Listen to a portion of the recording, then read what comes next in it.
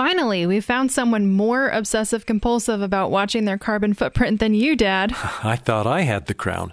But Lloyd Alter, editor of the Daily Treehugger newsletter and author of Living the One and a Half Degree Lifestyle, has me beat, hands down. Yep, Lloyd did the hard work for us, so we don't have to. What matters most in the lifestyle choices we all make if we want to do our part to keep the climate crisis from being a bigger disaster than it has to be? Next. Calling, calling, calling, calling, calling, calling. Call a growth buster. Whoa, whoa, whoa. All right. Welcome to the GrowthBusters podcast, where we discuss our society's addiction to growth and we do our best to chart a sustainable course for human civilization. I'm Dave Gardner, director of the documentary GrowthBusters Hooked on Growth, and founder and chief scientist at the Institute for Advanced Growth Addiction Studies. And I'm Stephanie Gardner, Growthbusters board member, environmental law and policy wonk, and sustainable energy enthusiast. You'll find us at growthbusters.org. Search for Growthbusters on Facebook, Twitter, and of course your podcast app for the latest growth busting news. In our last episode, we talked with Lloyd Alter about why try to live that one and a half degree lifestyle. Can your actions really make a difference? And we just didn't get all the way through. We certainly didn't get into the nitty gritty, which we're going to do in this episode. But before we start, quick reminder that one and a half degrees refers to the goal of keeping the global average temperature rise to no more than one and a half degrees Celsius above the pre industrial average. Now, you've got to nearly double that to get the degrees in Fahrenheit. The goal is to keep the temperature increase to no more than 2.7 degrees Fahrenheit. Now, this is going to be a long episode, uh, over an hour, because there's so much to talk about with Lloyd, but you don't want to miss a second of it. So, let's bring in Lloyd Alter to continue the conversation. Lloyd is a writer, public speaker, and former architect and developer. He's based in Toronto, Canada. He's published over 14,000 articles on Treehugger, which is an online uh, news resource with lots of environmental focused articles. He's the former managing editor of Treehugger and currently edits the daily newsletter. And he recently wrote this book, Living the 1.5 Degree Lifestyle Why Individual Climate Action Matters More Than Ever, that we started digging into last episode and and we're going to pick that back up for this episode as well.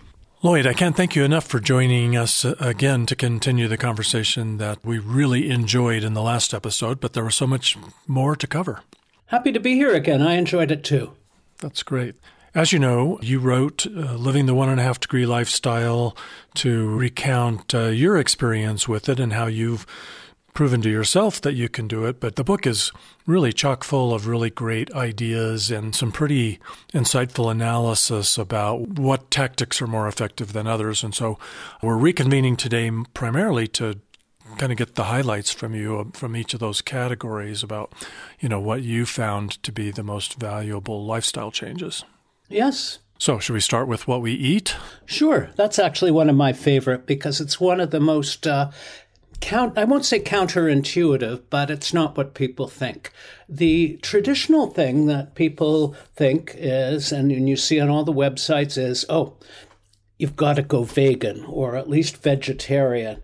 And the thing about vegetarianism in particular is vegetarians are allowed to eat dairy and cheese. And cheese comes from milk, and milk comes from cows and sheep, which are ruminants. So, in fact, cheese has a really, really high carbon footprint. That explains why it tastes so great, huh? Yes, absolutely. I mean, red meat is absolutely the worst. Red meat steaks are off the scale in terms of carbon footprint of the meat because the cows live a long time. They eat a lot of grain that has got a carbon footprint of its own.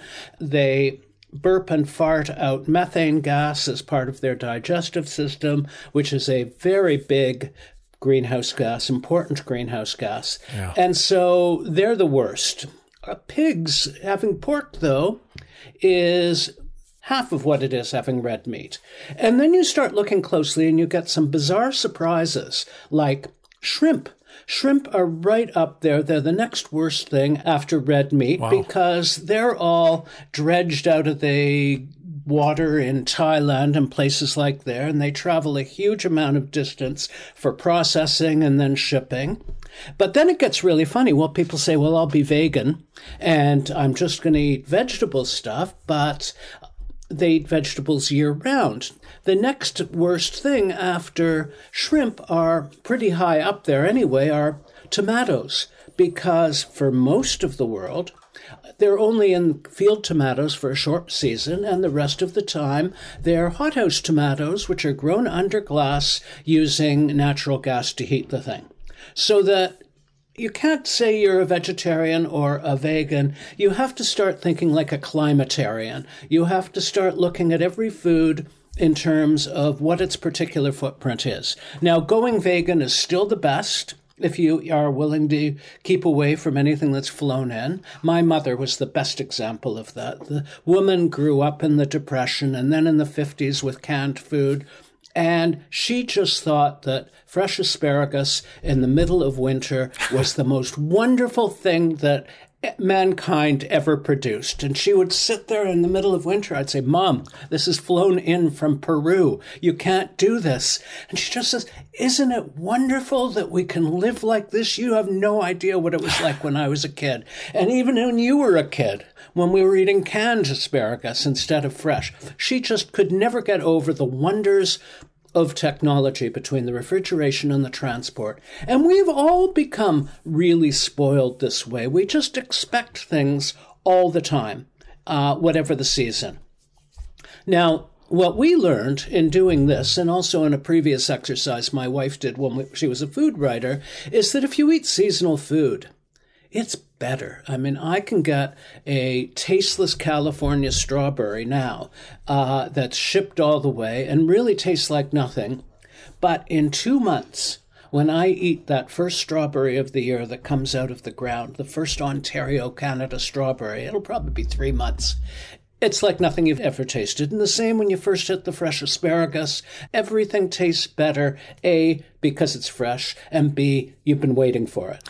and uh, so just the seasonal diet just tastes better like that. So eliminating meat and eating seasonally is critically important. A lot of studies say that the transport isn't a big deal, it's a small part of it. And I actually spent a lot of time looking into the research.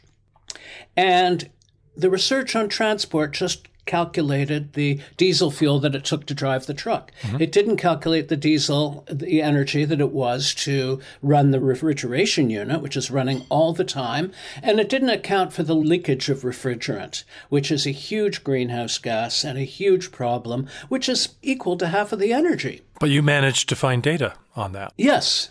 But the studies that the food people used just didn't use this data. So, anyhow, I was able to dig into that and basically develop what I was not the first to call this climatarian diet, which for me was no red meat. And the other thing that we all have to consider is portion size.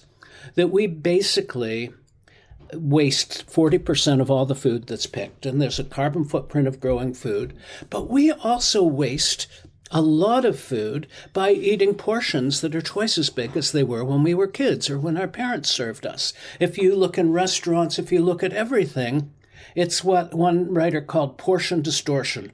Because food, as relation to income, became so much cheaper, we just start eating so much more of it. And so we're either wasting it by putting food in the garbage or we're wasting it by putting food in the toilet because we're eating so much more than we need. So we tried very hard to eat everything, no leftovers, uh, uh, eating all our leftovers, I mean. Portion size, putting it out there so you don't have out there more than you should have, more than you need. And being careful what we buy in the first place. And you can cut your carbon footprint from food in half. The other thing I did that's interesting is that I did a study of our favorite takeout food, which is a rotisserie chicken that's very popular here.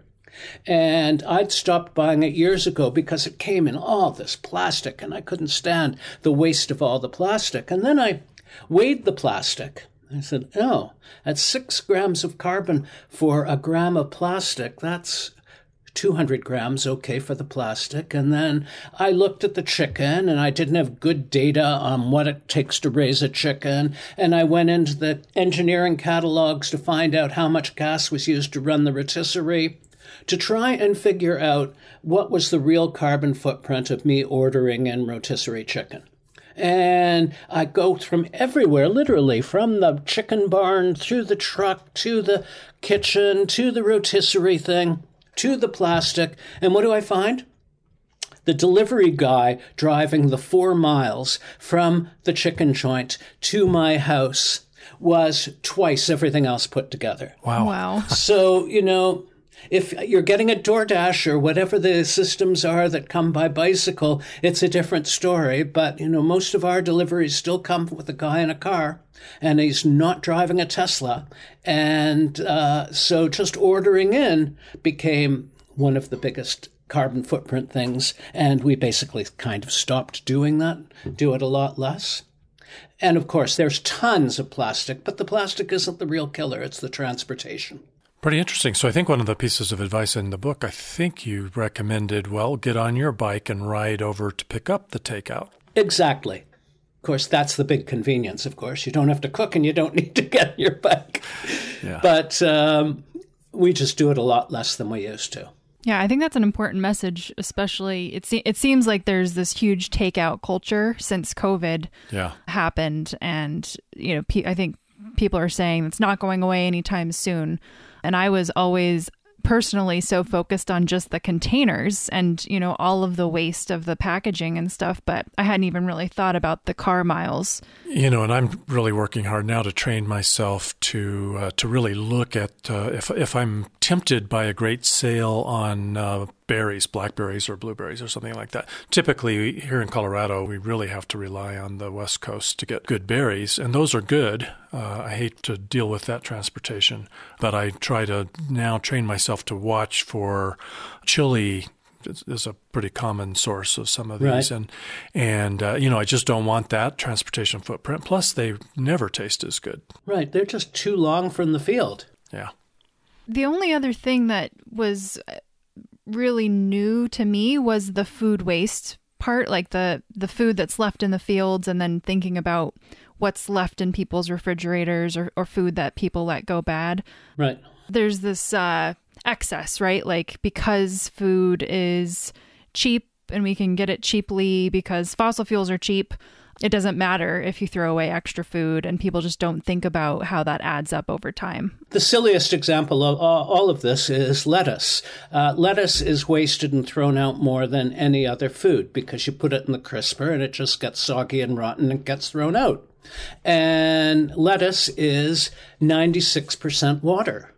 And so, you know, they're picking the lettuce in California and they're putting it in a truck and they're shipping basically refrigerated water across the country to your house. And that's what you're buying is water. And half of it gets rotted in the fridge anyway. I highly recommend for your uh, amusement, there's a website called lettucesstupid.com. And you type that in, and it just one little thing comes up on the screen saying, it really is. And that's the whole website. like, it's right. It's absolutely correct. Well, shoot. So we try to keep away from the romaine and the iceberg in the winter as well, just because of that. It's it's ridiculous the cost of getting it and what it actually is, which is water with a little bit of cells around it. Well, aren't some of those leafy greens are good for you if you can grow them in your backyard or get them at the local farmers market in the season, right? Yes, and a lot of uh, people are growing sprouts and other things hydroponically under LED lights now. I'd love to see the real footprint of all the power it takes to do that stuff, but um, there are alternatives. Kale also. I got totally sick of kale because kale grows right into the uh, winter that I can barely look at kale anymore. But it's a choice that it's nutritionally dense and you can almost grow it all year. One last note about the portion distortion. You know, I'm tempted to say we ought to uh, form a movement to try to get restaurants to really reduce the portion sizes, but I've come up with my version of that, which is I just you know, carry a leftover container with me when I go to the local restaurant, and I just plan on eating half of what they serve me and bringing the rest home. I do that too. I can't eat those portions. But you know, you have to look at what happened over the years. It used to be if you wanted a coffee and a snack, you went into a coffee shop and you sat down and got it in a refillable container. And you sat there and drank your coffee. So they gave you a five ounce coffee because they didn't want you occupying the real estate for that long. they wanted you to drink the coffee and get out. And as soon as they outsourced the seating to us, where we sit in our car and we carry it around, it costs them very little to just crank crank the sizes up to where you know you're now getting like a what's a big gulp of pop with the uh, you know a giant thing of coffee. And you can't even get a small one at Starbucks anymore. You know they start with the medium. And they just upsize and upsize and upsize because you're the real estate. You know you got your car seat and you got your cup holder. And we now feel we have to drive around drinking coffee instead of sitting down. And this is this whole thing that started in the 50s with takeout food has just increased the carbon footprint of eating so dramatically because we're driving around to get it. And of course, all the waste from it. Yeah, we've got all these Dutch Brothers uh, little coffee stations around town, and all day long, I mean, no matter what time of day, there is a line of cars waiting to get the coffee. I don't know whether it's that good, I've never done it, or whether it's just so easy to drive through, but I just hate to see all those engines just idling while there's 12 cars in line waiting to get that oversized coffee. And they're all big pickup trucks and SUVs now, too. It's just, it's just, just crazy. Madness. Well, I've never heard of the term climatarian before. I'm surprised I haven't, but I'm looking forward to using that moving forward because I feel like that will start some really interesting conversations the next time I'm asked about my dietary restrictions. yeah, it's it's new. It's relatively rare. I actually thought this woman who was in charge of environmental stuff for a New York City salad chain invented it and she said no, this other person did. So it's new, but I think it's going to be come into much more common use. Cool. Yeah. One last thing on this topic before we move on is, and because I, I think it relates to the next topic, you mentioned ammonia production for fertilizers being a huge source of carbon emissions. And do you mind telling us a little bit about that? Well, it's ammonia is made in this Haber Bosch system process, it's called, that basically it's made from hydrogen. And the hydrogen is made from natural gas through a process called steam reformation. And so to make the hydrogen, they basically take natural gas and they separate the carbon dioxide from it, the carbon, and turn it into carbon dioxide. And then they feed the hydrogen into the plant to make ammonia. And I forget the number. I think it's 4% of the world's carbon emissions now come from uh, making this. Now, they're talking in the future we'll have green hydrogen that's made from electrolysis, and they're talking about carbon capture and storage. But basically, the fertilizers that made the green revolution possible, that let us feed the world that we have, basically is almost all made from natural gas. Yeah. So that's the problem. There's a carbon footprint to almost everything that we eat, even if it's a vegetable, if it's been grown with all that fertilizer. And it's another reason, that's the main reason we have to reduce waste in the field. We have to, should be reducing waste in the fridge because it's all going back, it's all basically going back and uh, being a fossil fuel. Fertilizer also is grossly overused. It's not properly managed. It's spread on too thick. It runs off into our waterways and contaminates them. So they're all problematic for many reasons. Yeah, so essentially, we're using a lot of fossil fuels to grow our food, transport our food. We're eating too much of that food. And then we're not even recapturing a lot of that kind of beneficial fertilizer on the other end. And this is where it relates to the next topic we were going to talk about, which is how we live. Right. And one thing I loved about your book, Lloyd, was that you, you know, you're you're really into data, but you're also a little bit of a historian because you give us the backstory of how we got to where we are and and you know in the in the how we live section you you talk a lot about how treatment of waste running water, how all those systems have changed over the centuries to give us the current system today, and how inefficient that is. Right. And one of the best examples that you were just alluding to there is our toilets. That uh, basically we use drinking water to um, flush our waste away and often into places where we're getting our drinking water. and when they were arguing about this in the middle of the 19th century, there were big fights about this among all the engineers. That there was one school of thought saying that um, we have to gather the poop and we have to use it all as fertilizer, that it's good fertilizer, it's manure, we're wasting it.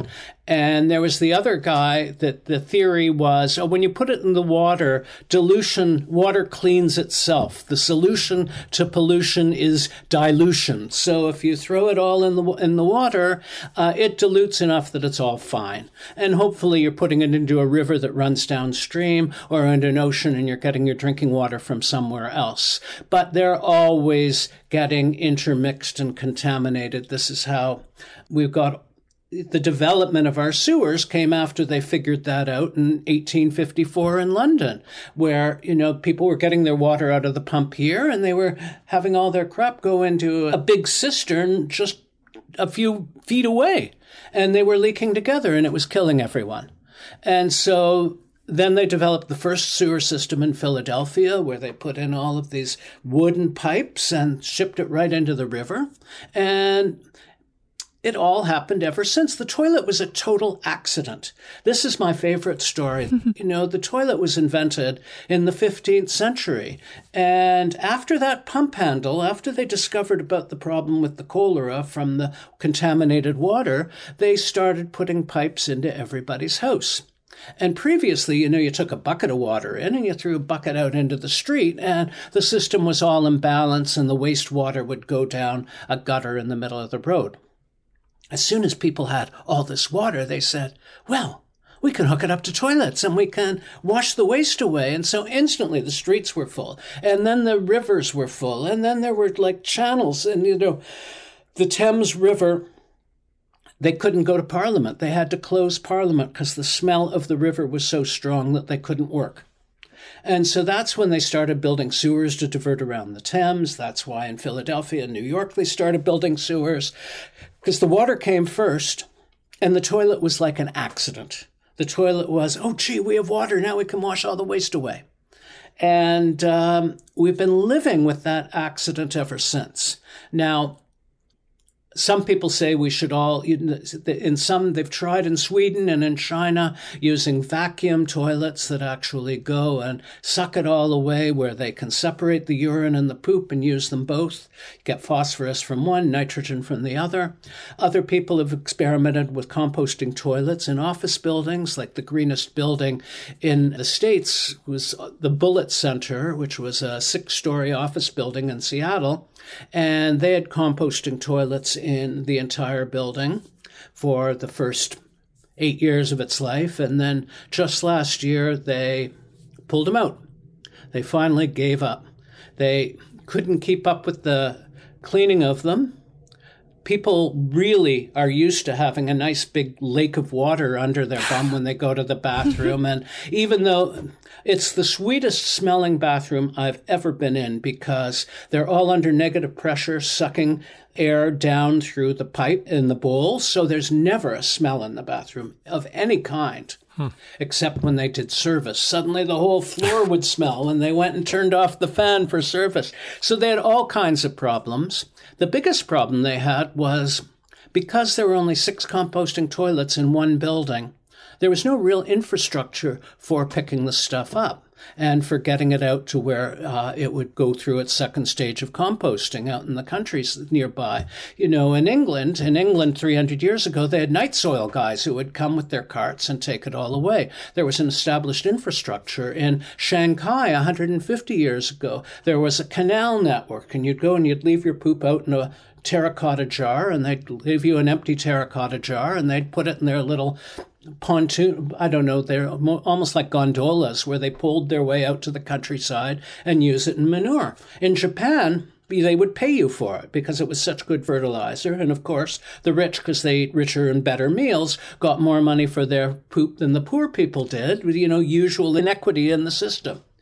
But there was a, structure, a circular structure of you eat the food, you poop it out, it gets picked up, it gets taken away, it gets put in the fields, and you grow the food. and it was like a closed circle that dealt with it all. Of course, today, if you tried that, we've got drugs, we've got antibiotics, we've got all kinds of other things that you, you know, you don't want to put it on the field anymore unless you, uh, for at least the vegetables we want to eat. Although many cities do get biosolids, which are processed from the waste that comes out of sewage treatment plants. So we're still doing it to a degree. It's just much more elaborate because we have to now separate it from the water and process it and do all that. And that treatment part also has a carbon footprint. Oh, yes, yes. And pumping the water up the hill to the water tower is a huge, huge user of electricity. I was shocked to find that after street lighting, the single biggest cost to civic governments was the electricity to run the water pumping systems. Wow. Wow. So it's a big deal. You know, and we're kind of undergoing this mass urbanization right now. And I think waste management is probably the one area, at least the human waste, where, I mean, the more of us that we pack into these smaller areas, the more technological solutions we have to pursue. Yes. Which rarely beats Mother Nature. Yeah. And in most coastal cities around the world, even in countries like the United States and Canada, if they're on the ocean, they're still pumping so much of it straight into the ocean without any processing at all. And this has to stop. Well, let's talk because you're an architect by training. I think you had some pretty interesting things to talk about regarding, uh, you know, our homes. So, shall we move into that? Yeah, and I think the main thing to talk about our homes is that we've got this North American obsession with the single family home, which is on a big lot that most people have to drive to. And it's got four outside walls and a roof, and it's got a connection to the ground and the foundation. And that just means that to heat or to cool it consumes a huge amount of energy. If you compare the carbon footprint of someone living in suburban North America to the carbon footprint of someone living in Vienna, say, a very civilized city where people, I think, on the happiness index are among the happiest in the world. But there they have no single family houses. Everybody raises their family in an apartment, which means you only have one or maybe two walls to the outside, and the rest you're not losing heat or gaining heat through because you're sharing them with a neighbor. And so the carbon footprint of someone in Vienna, even after eating all of their fabulous fried meats um, and everything that they do. And even though a lot of them have cars, which they use on weekends, but their carbon footprint is less than half of a North American, simply because they live in smaller spaces and they live in the kinds of neighborhoods that were designed so that they have great transportation right outside their door. Like I went to see this development when I was last there two years ago, which basically was a former airfield. They're lucky. They have lots of former airfields. And before they built the whole new development, they rammed the subway through to it so that as soon as people moved in, they would have transport. And all of the buildings are six stories to eight stories high, and their families and their daycare centers and their pools, and they just build everything together so that you have everything you need all at once. Whereas in North America, what do we do? We just keep ramming houses out into the suburbs, and you've got to get in your car and drive five miles back to get to the grocery store to get your quart of milk. And so it's a very, very high carbon lifestyle. Now, what I did, the only way I was able to get through it, I live in what was a single family house in a built in 1913 in what's a streetcar suburb, like you have in Boston and a lot of other cities where they built the streetcars and then they built fairly dense housing around walking distance to the streetcar. And what I did six years ago now, when I wanted to sell because my kids had grown up and I wanted to live in a smaller space, my wife didn't want to sell, so we duplexed the house. We cut it in half. I live on the ground floor and the lower level, which I'm in right now, and we rented upstairs, in fact, to my daughter and her husband. So we've got two and a half times as many people living in the house. So our per capita consumption of water and of energy and everything else went down. And we're very happily, the two of us, living in 1,200 square feet. And so this is key to living, just having smaller spaces and sharing surfaces is key. And this is why we have to encourage the duplexing and the triplexing of existing houses and new mid density construction, not the high density construction, but like what you're seeing a lot of. I think you're seeing a lot of this in um, where you live in Colorado, where they build sort of low rise apartment buildings on top of a podium on the ground floor. And that's a style of building people say they hate, but I, you know, it's really efficient. Yeah. And it's almost affordable. One thing that you wrote about, Lloyd, was that the so electrification is a key part of what we need to be doing with our building stock. And you said that the electric mix is going to just get greener and greener over time. Yes. And we're seeing that evolution. It's not going fast enough, but we're seeing that. And you said the gas grid is not going to get greener which is duh, obvious. So, a lot of homes are still heated with gas. A lot of homes cook with gas, but there are some really great technologies, air source heat pumps, induction stoves, uh, that kind of thing that we really all need to be switching over. Yeah. When it makes sense to replace an appliance. Yeah, the technological change in the last decade, some of them have been absolutely remarkable. For instance, just LED bulbs, just our lighting. If you change bulb for bulb, what you had before from uh, incandescent or the compact, then the compact to LEDs, you've dropped your power consumption to a tenth. What I'm finding now is that people are putting in way more fixtures. I just saw a picture of a house in Florida that the whole dining room ceiling was a grid of LED fixtures. Of course, we're seeing outside of buildings getting all lit up and covered with screens. We're seeing LED billboards. We're seeing what is called Jevons paradox that basically when things get more efficient, you use more of them. It's why as cars got more efficient, we got SUVs and why houses got bigger when they got insulated because that's what you do. But with LEDs, it's a technological revolution, an explosion, such a magnitude of energy efficiency that we're seeing them used in ways that we never had before. We're seeing, I've seen carpets with them embedded in them, wallpapers, uh, TVs have gotten huge. We have to watch this. We have to watch the fact that we're saying, oh, LEDs are so much more efficient because if we buy 10 times as many of them, we haven't done anything.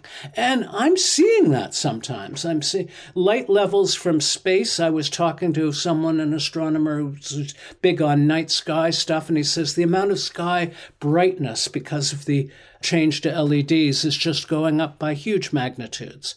So this is the principle I call that the whole book about is sufficiency. That not just efficiency, but sufficiency. What is enough? What do you need? How many LED bulbs do you need?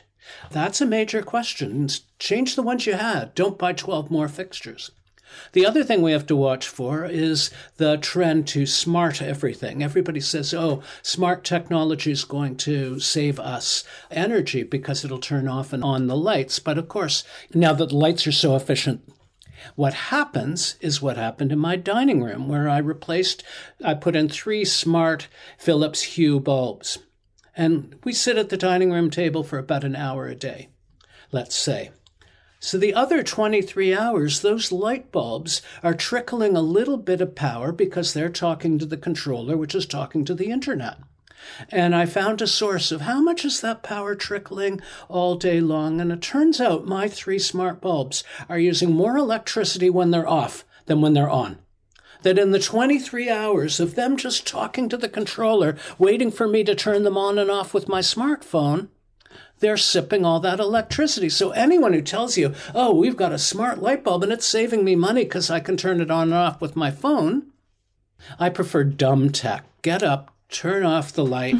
I like dumb houses that have lots of insulation instead of smart thermostats. In a well insulated dumb house, a smart thermostat is bored stupid. It has nothing to do because the temperature doesn't change. So, you know, go for the basic things and I've known people who rip the smart thermostats out of the wall because there's three people in the house and it gets confused. It doesn't know who to follow and what to do.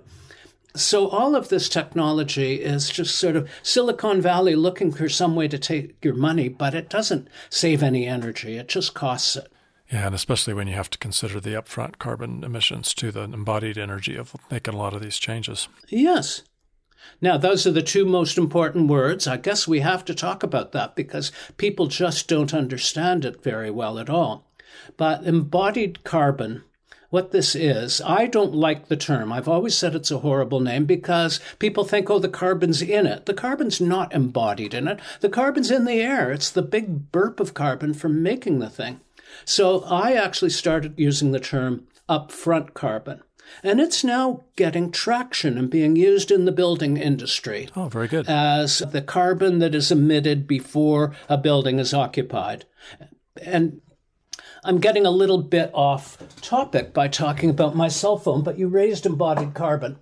And um, so I'm just going to talk about it now because embodied carbon's in everything. If you buy a dishwasher, people say, oh, dishwashing is by with a dishwasher is more efficient than washing by hand. And when you look at the water energy consumption in that, but when you add in 100 pounds of steel and aluminum and plastic that the dishwasher's made of, the equation changes, mm. which is why you should buy the best quality you can buy of things that will last the longest time.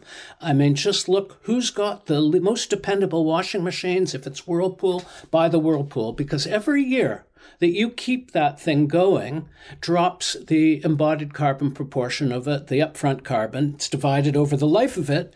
It gets better.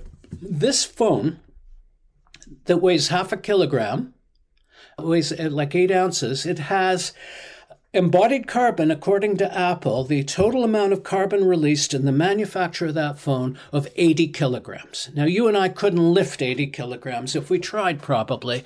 And yet, that's the weight of the carbon dioxide emitted making this phone, according to Apple calculations.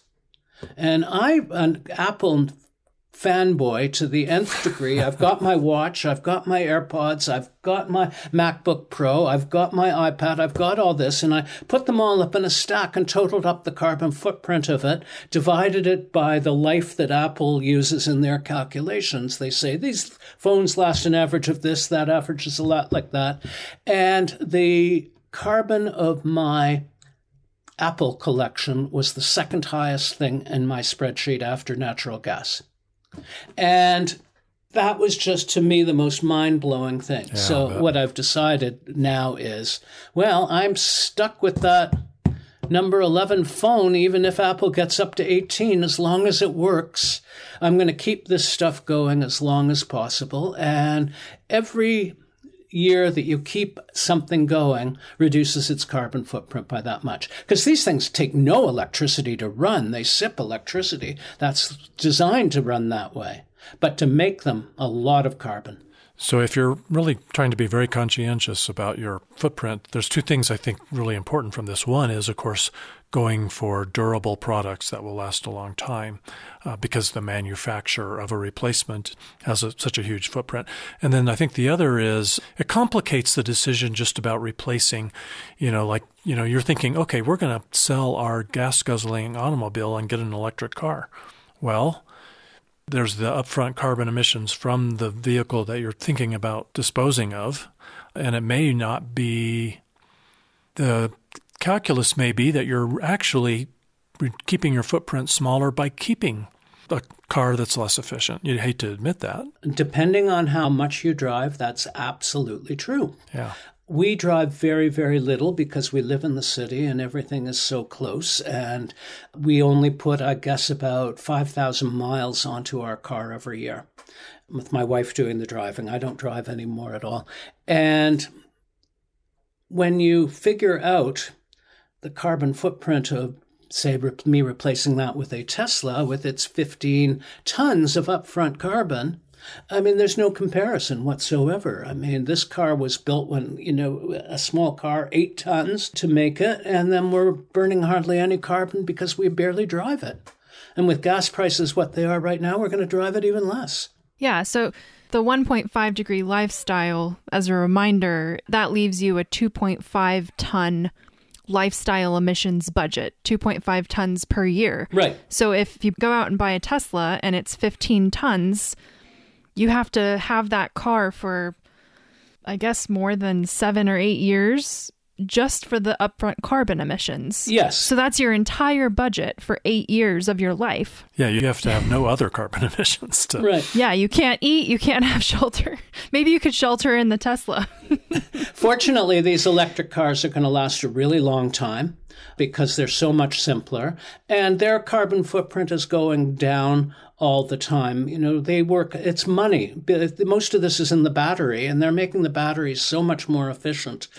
I wrote an article uh, about a year ago that was very controversial where I did the math and figured that buying a little Honda that ran on gas had a lower carbon footprint than buying a Ford F 150 electric pickup truck because of its huge upfront carbon of making it. And the head of our company even sent a note. You know, I now work for the largest English language publishing company in the world. And he read that and he got really mad. We're supposed to be promoting electric cars. How can you do this? You know, how can you be saying a gasoline car is better than an electric? And I said, well, I'm measuring a Honda Fit, which they don't even sell in the States anymore because nobody wanted, against a, a Ford pickup. And you look at the numbers and it's better. Well, a new study, I had to write another article last week where a new study came out with reputable numbers. I went through all the backup that said that that Ford F 150 pickup truck that I said was 40 tons of upfront carbon is only 17 tons of upfront carbon. I was off by more than twice. Now, that changes everything. But one of the things that you find in the whole thing, whether you're talking chickens or tomatoes or cars, is that the numbers are wonky and wild, and nobody actually knows precisely what it is. Like Apple did the most detailed calculations that I'd seen yet to come up with their estimates, but everything we're doing is still a guess. What we need is a label on everything, like you do a nutrition label, to see how many calories and how many vitamins that the companies that make these things know what goes into them. They could put a label on it and tell you how much carbon it is, like Apple does. But the car manufacturers aren't going to do that. They want you to get a bigger car. They want you, even if it's an electric, they want you to buy a big one. Yeah. And and then the other part here is it goes to show even if a Ford F 150 electric vehicle is 17 tons instead of 40 tons, it still shows us that we can't all just switch to EVs and magically our carbon problem goes away because of all the carbon that needs to be emitted to produce enough vehicles to interchange them all. Well, look at, and also the numbers change all the time. Look at what happened just this week. Russia, because it has lots of hydropower, is responsible for 30% of the so called green aluminum that's made with hydroelectricity instead of coal. Uh, as and uh, so it's responsible for 30% of it. Uh, Ford, a lot of companies pay a premium to get green aluminum to reduce their carbon footprint. And everybody stopped buying Russian aluminum. And where do they have to go instead? To China, mm. where it's coal fired, and the aluminum is five times the carbon footprint of Russian aluminum made with hydropower. So if you're buying something, now not only do you have to worry about, you know, this aluminum pan. Is it Chinese aluminum versus Russian aluminum? There's no way to know these things.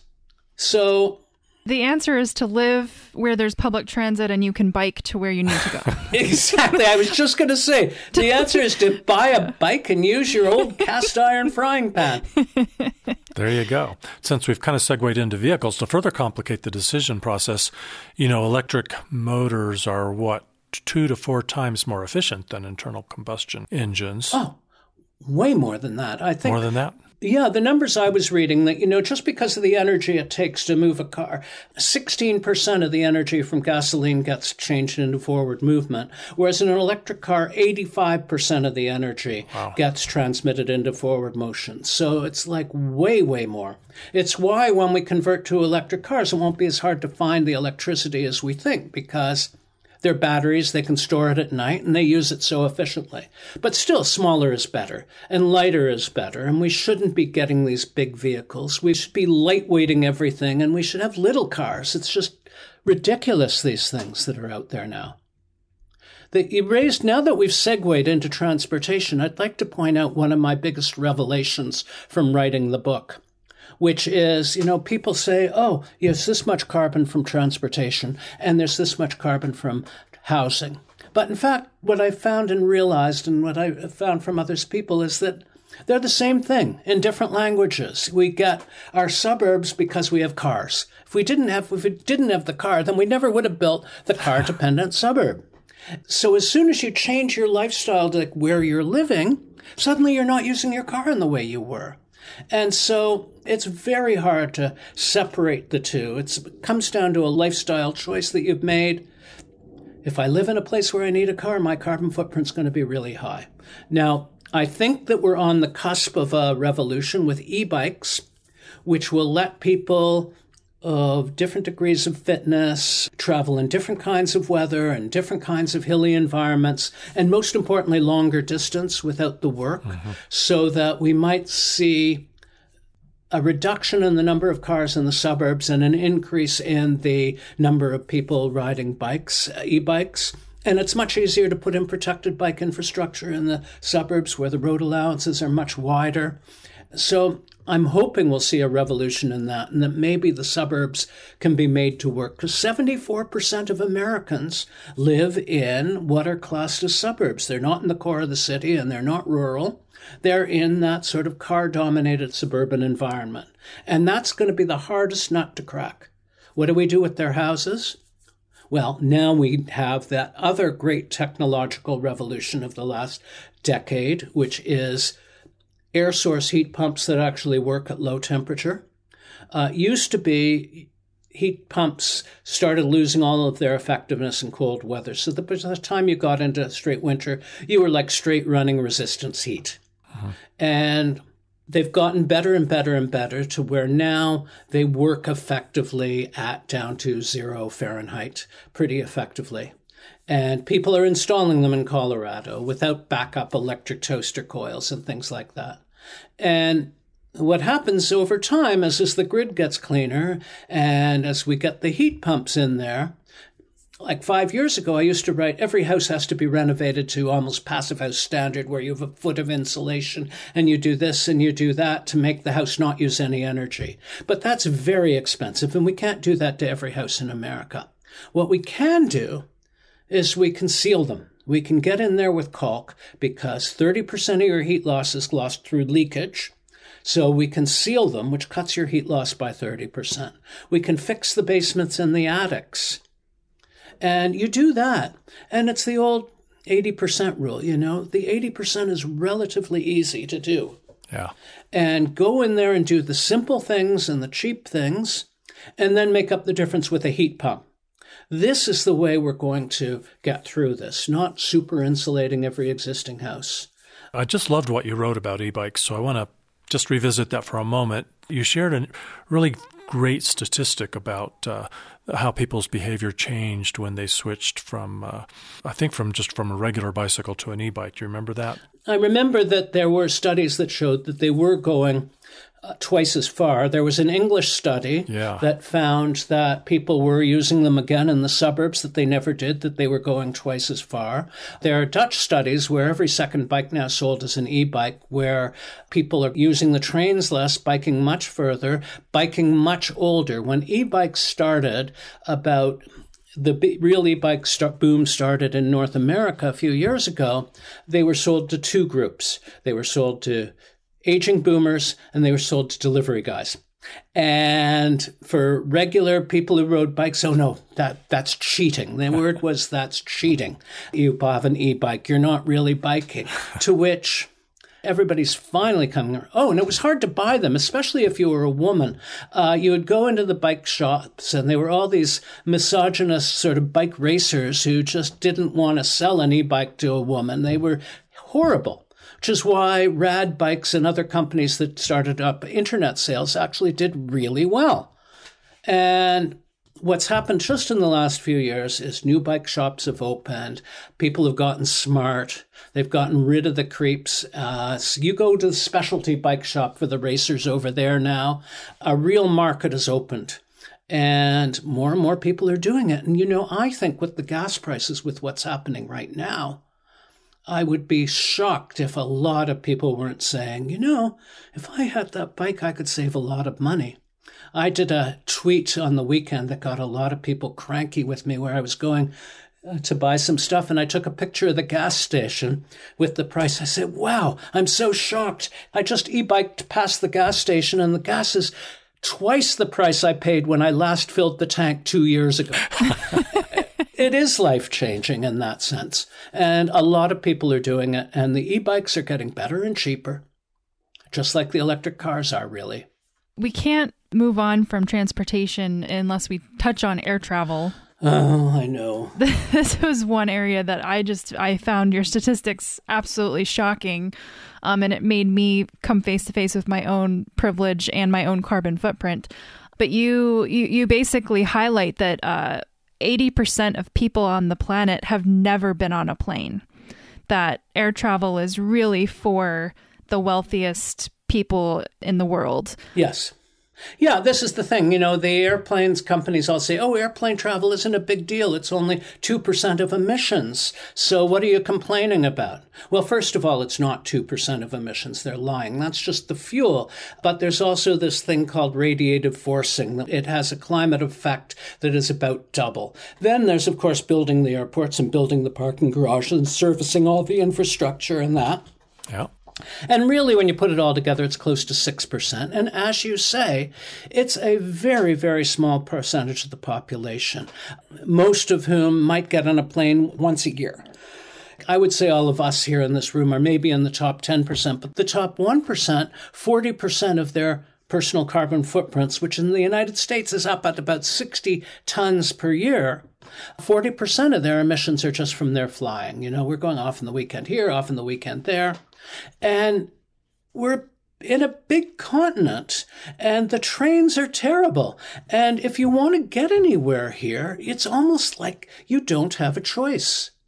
I went to visit head office by train uh, about 10 years ago to try it out because you could get a train from Toronto to New York City. And it took 14 hours to get there. It takes eight hours to drive. At the border, I was treated like a criminal because I, they must think that anyone who's taking the train has something to hide or they'd be in the airplane. But it was like two hours to cross the border at Buffalo.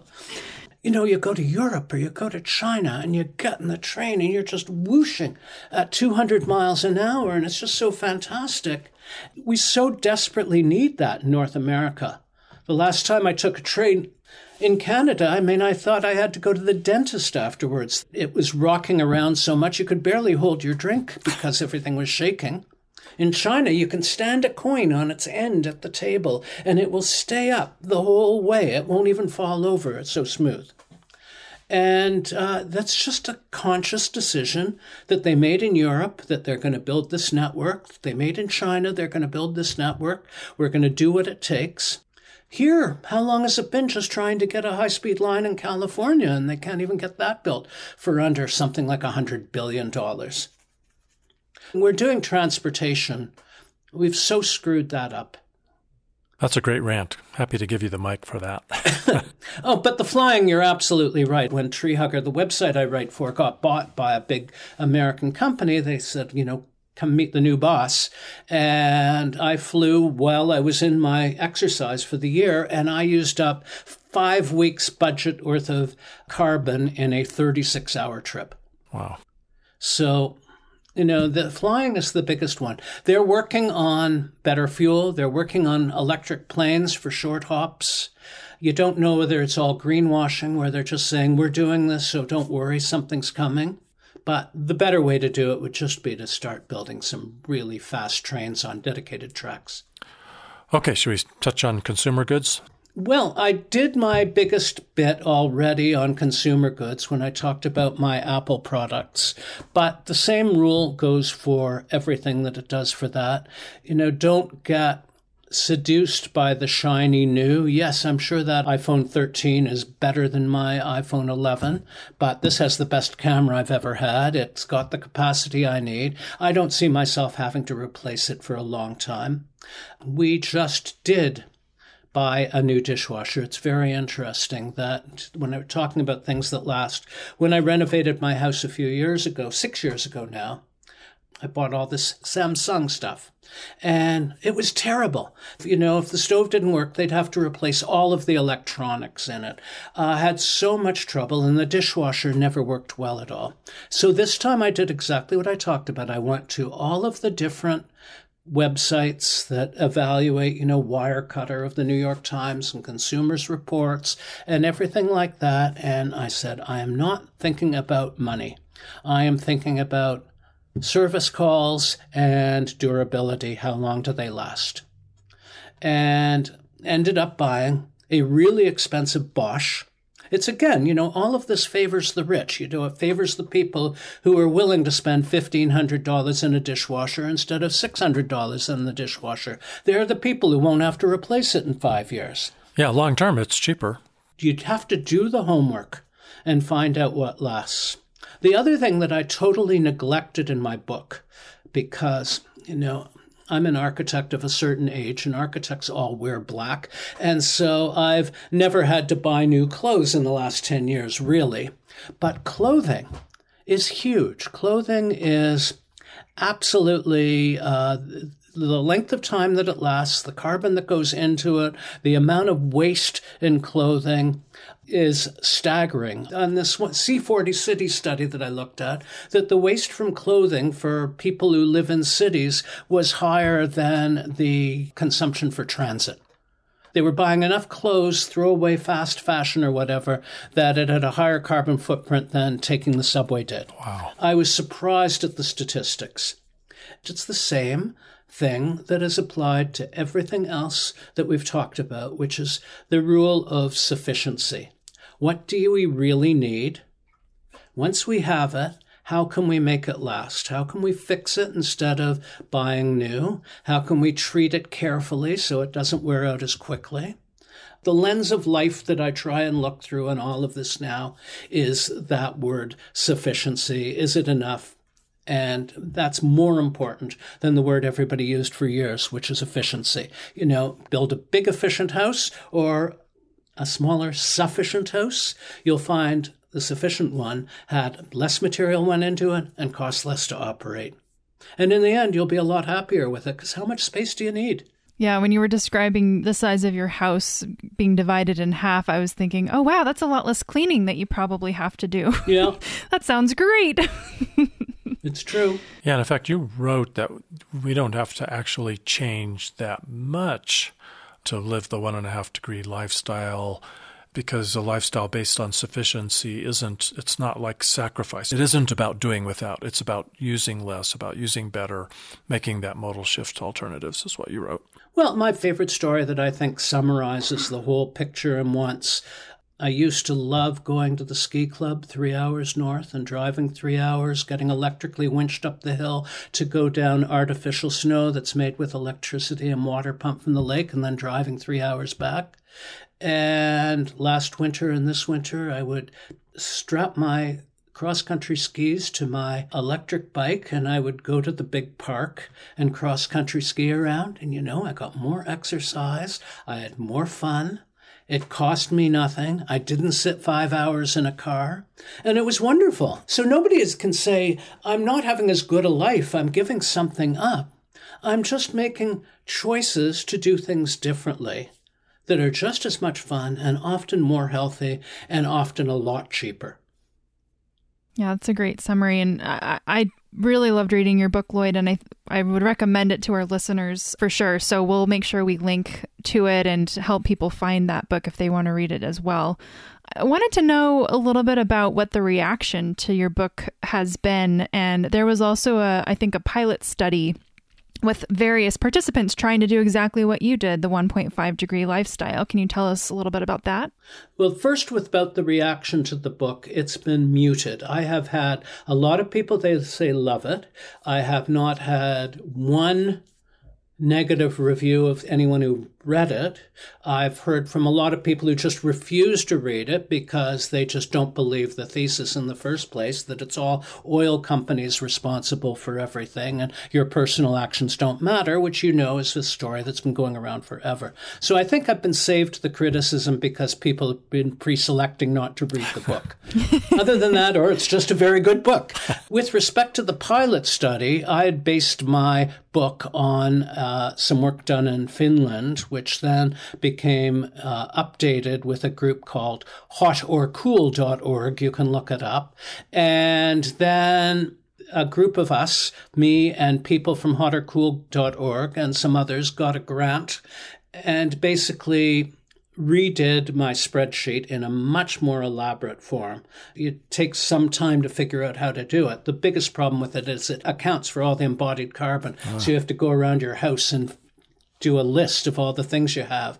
But once you do that, it's fairly easy to use. we put out a call for volunteers from around the world, and we had 40 people who said they would do it. And in the end, only 16 did. Uh, finished it. And in the end, too, they found that some people didn't have a hard time because they lived in cities and they didn't have to change that much. And a lot of them are in Europe where they're starting from a lower base, anyways. And some in Africa, you know, they didn't have to do anything. They were already living it because half of the world does live on to less than 2.5 tons a year, and they were doing it. But others just found, well, I have to drive. I don't have a choice. I mean, that's how I get everywhere because of where I live, and I can't give that up. And I'm not going to buy an e bike for this exercise. So, in the end, as a pilot, it was useful but I'd love to do it again. I'd love to have the spreadsheet turned into a simple app. Like if you look at MyFitnessPal or a lot of exercise apps, they're really easy to use with drop down menus and things like that. And the next thing I'd like to do is to make this elaborate spreadsheet actually convert into something that's relatively easy to use. And I think we'll have much better results then. But if you'll put the link into 15.org, people can go and download it. Uh, it's free, it's accessible, and try it themselves. If they get through the instructions, they might enjoy it, but they're tough.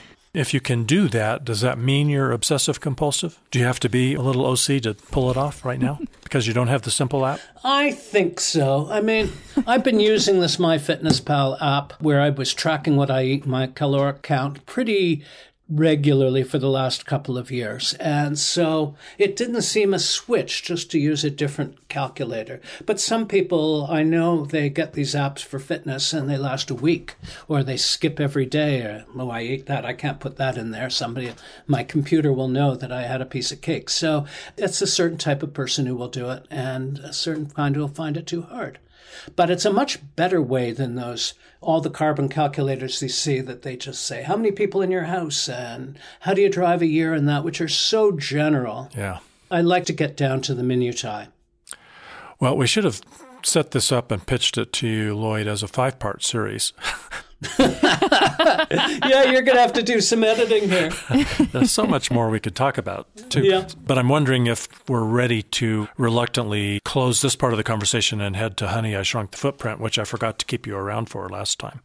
Ah. I think we should move on to Honey, I Shrunk My Footprint. Let's do it. And this is the segment where we share something that we have done recently or do regularly to shrink our footprint that we just think is worth talking about because it's unusual or funny or quirky or we're proud of it or we think people might want to adopt it.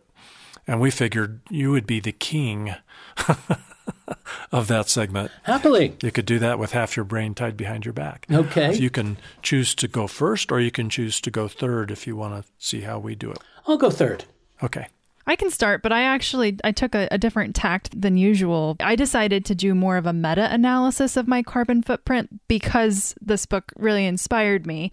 And so I went to the Global Footprint Network calculator and it's exactly what you just described is not specific enough to really do a good job for this sort of exercise, but for me, I think it gives me a very directional sense of my carbon footprint. And I did this back for my 2019 emissions. So pre pandemic, I did quite a few business trips around the world, pleasure trips. I had 132 hours of flying that year. Yeah. I drove very little because I lived in the city and I took public transit to work, but I was just flying. It was the most flying I've ever done. Let me guess. Let me guess. Sure. Uh, your footprint came in at 35 tons. So, no, it came in at 19 Oh, tons. with all that flying. Wow. Yeah, and you know, I think it goes back to your point of data sources. I don't know what the Global Footprint Network uses for their emissions data, but 19 tons of carbon was the result. And then the other thing that it, it actually looks at your ecological footprint. So more than just carbon. Right. Water and What resources are you using for food and yeah, shelter, that kind of thing. And so it tells you if everyone on the planet had your same lifestyle, how many planet Earths would we need? And mine was 5.4 Earths. Yeah. I was going to estimate six, but 19 is not possible Yeah. because the average American is 17. And to do that much time in the air? Well, the fact that she wasn't driving, That, yeah, she wasn't driving, of course. Like that's in the top 10%. The driving is bigger because they're doing a lot. Yeah. Interesting. Yeah. So anyway, I just did it again for my 2021 behavior. So during a pandemic and working from home and just very different lifestyle in 2021, I flew a total of 15 hours, but I drove 5,500 miles because I, I did do a long road trip.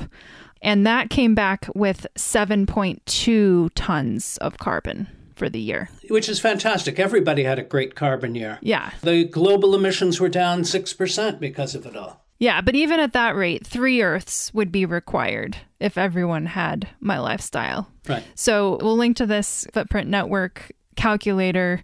Lloyd, I think you mentioned the data might be kind of wonky, but at least for me, it's directional and it still shows me, even if I'm at seven tons now, to get to 2.5, that's a lot more things that I need to start looking at and working on. So I thought that that was an interesting sort of meta analysis of my carbon. Right. That's interesting. Yeah, thanks for doing that. I have one that I think is kind of fun. So, uh, even though uh, the listeners are just listening to this podcast, we can see each other while we're recording this. So, I want to say to you guys look at the shirt I'm wearing. The collar is really getting frayed. I don't know if you can tell. It used to be that I might wear this around the house, but I would have changed into a shirt that isn't ragged if I was going to be seen out in public or even if I was going to be on a Zoom meeting. And I used to discard or donate a shirt as soon as the collar or the sleeves started to get kind of ratty. And I've thought about this. And the main reason I did that was I didn't want people to look at me and think, oh, he's poor. He must not be successful. I saw a cartoon in an issue of Yes Magazine that came out this last summer that kind of made me realize that I really should be wearing clothes like this as a badge of honor. Uh, I should be proud of the fact that I don't throw it away or donate it. Donating is, you know, of very marginal value, if any value at all these days. I should be proud of the fact that I'm not throwing it away. It still serves its purpose, and I shouldn't be so worried about the signs of my success in my clothing. Now, I'm lucky that it takes a long time for my clothes to fray because I religiously never put my clothes in the dryer. I always hang them, so they last a long time. But now I've decided to turn over a new leaf, and today is the first day that I've gotten on a Zoom call where I would have worn a shirt like this that makes me look poor. it doesn't make me look poor. It makes me look like a good global citizen, I think. I got um, hired recently to do a talk about this exact subject, living the 1.5 degree lifestyle, to one of Canada's largest banks. And I'm doing this next week where I'm going to two bankers' homes to tell them how to do this. And I know where these houses are, and these are seriously rich people in big houses. And I think it's going to be fun. And, you know, I just told them I'm not wearing a suit. I grew up, you know, I used to wear suits for banks and funerals, the only two things, and I don't fit in my suits, I don't think. They said, oh, okay. But like, you know, the, I used to do the same thing when I was in real estate development. I'm in the clothes and the suits and the shoes. And uh, you don't need that, certainly in this day and age. I wish I could be a fly on the wall for your conversation, Lloyd. That's might be a little awkward. yes. I think it's going to be interesting. I'll show up on my e bike and march in. For me, I think the thing I used to buy tons and tons of books. You can see behind me on the camera there, sort of like the architecture books there. And my wife hasn't bought a book in years because she's the biggest supporter of our fabulous local library system. And so she's got 50 books out at any given time uh, from the library. And I've really gotten into ebooks now. I don't think I bought a paper book in two years. Wow. And it's a big saving in carbon. And they've done studies. They say, well, how much are you using your iPad for? And how long does your iPad last? Yeah. And of course, I want you all to buy the paper version of the Living the 1.5 Degree Lifestyle. But um, it's one of those things that uh, I just don't want to do anymore, not just because of the carbon, but also because living in a much smaller space, I don't have anywhere to put them. And cutting down trees and shipping them around the world to turn them into books is big. How do you feel? Do you do ebooks or do you paper books? That's a great one. I do mostly library books. Ah, well, that's the best of all. That's by far the best of all. I just need to make sure I don't drive to the library. I'm really guilty. I hate reading on a screen. I really love reading a hard copy. And I really think I've got this great library that, in a post apocalyptic world where uh, we don't have the energy to run our Kindles, that it might be nice if Dave Gardner has this library that somebody can leaf through. It's a very good point. You've done the calculus to determine that there's no way that the power to run the devices it comes anywhere close to competing with the carbon footprint of producing those books. No, not even close. But then again, that's why the library is the best thing because the book gets printed and then it gets read by dozens, hundreds of people, possibly. And of course, that just divides that footprint for that book happens just once. Yeah, that's a great point there. Well, thank you, Lloyd, for participating in our Honey, I Shrunk My Footprint segment and for talking to us for two episodes. This has been just so eye opening for me personally, and I'm really excited for our listeners to hear all of your data. That's really powerful. Yeah. I've really enjoyed it. And I'll send you the links to three things that you might want to put up on the site the 15.org calculator. Uh, is a very interesting news site. Did I mention it last time? The Jump, an English website. Yes. Did you look at it? That looks very cool. Yeah. And it's all based on that C40 report rather than the hot or cool report and that and the uh, C40 urban living thing. And it's very cool. And they just put out new stuff this week. Well, I think these are a couple of our best episodes. Oh. So thanks for sharing what you've learned. You did a lot of hard work. A pleasure.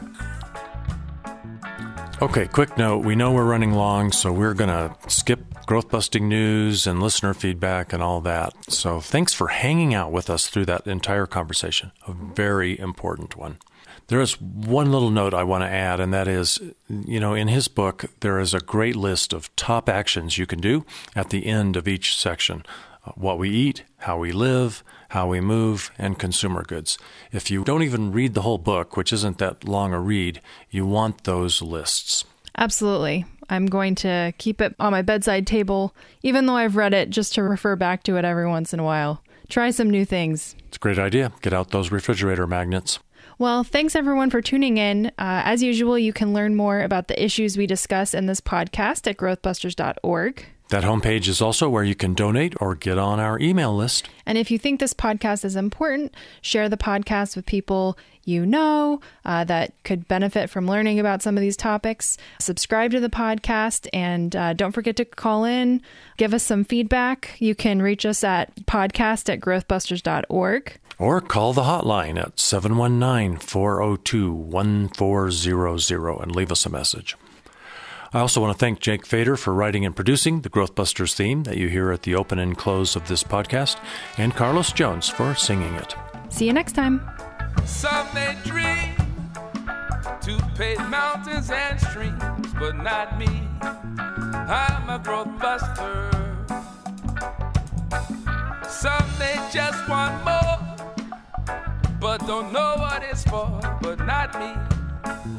I'm a growth buster. Don't want a solution at the cost of pollution. They think bigger is better at the cost of the weather. But no, not us. We are the growth busters. Calling, calling, calling, calling, calling, calling. Call the growth busters. Whoa.